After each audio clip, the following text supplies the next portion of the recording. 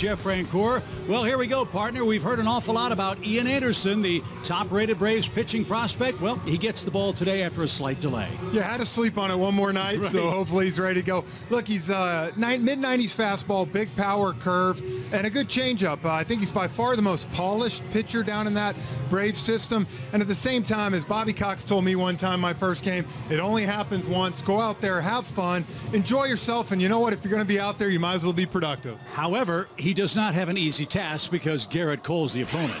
Yeah, look, when you're facing this guy, you know you have to be on top of your game. Ian's going to have to do that. Gerrit Cole, one of the best pitchers in baseball since he went to Houston.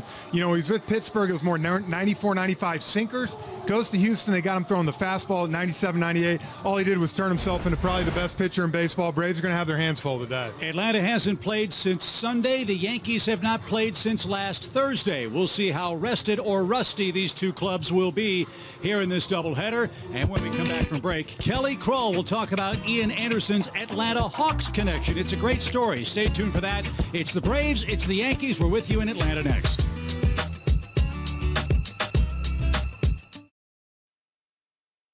Store for you. Doubleheader Braves and Yankees. And 21 hours later, Ian Anderson, with the sun shining, should finally be able to make his major league debut. And, you know, during a normal season, his friends and family from Clifton Park, New York would be here in the stadium rooting him on. And that includes Kevin Huerter, of course, shooting guard for the Hawks. These two were teammates in both baseball and basketball back in high school. They won a state championship together. Check it out there. Baseball and, you know, Huerter. For Ian Anderson, the pride of Rexford, New York, and ready to go to face the Bronx Bombers today. I think thing Bird, Birdie said that hits home for me. He, he does throw that high fastball, but you got to get it in. You got to get it away. You can't live down the middle of the plate. I'm looking forward to seeing he's got that big power curve. Look, I, I think anytime you get to see a young guy like this come up and make his debut, you're just excited to see him pitch. And I think for Braves fans, we've been waiting for this all year. I think for this guy, when the, the starting staff had some injuries, guys get sent down. So uh, congrats, Ian, and let's see what he's got. Well, he's going to face a New York Yankees club that homers. They don't have Aaron Judge in the Toyota starting lineup for game one, somewhat surprisingly. But still, uh, Jeffrey, a lot of power with uh, Voit, 10 homers.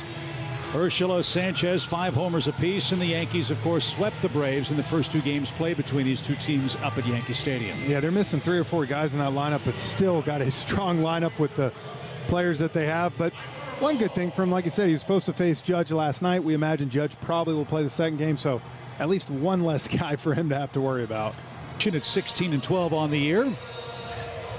And this is his Toyota starting lineup. Great to see Ronald Acuna Jr. back in that leadoff spot. Red Hot Dansby Swanson second, Freddie Freeman third. But Jeff, as you said, they're facing a man that hasn't lost a game in 28 regular season starts in Gerrit Cole. Uh, see those numbers. They explain themselves. Uh, one of the best pitchers in baseball.